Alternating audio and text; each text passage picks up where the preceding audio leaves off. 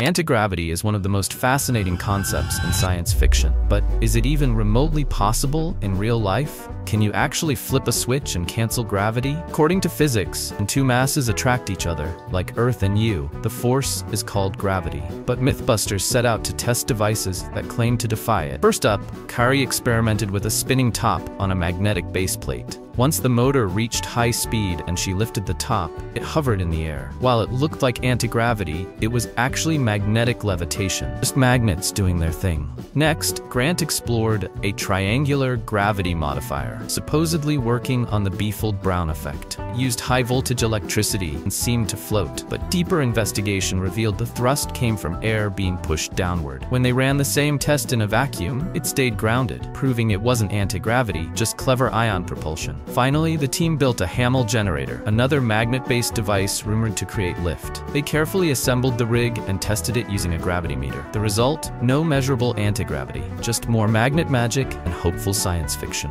Subscribe.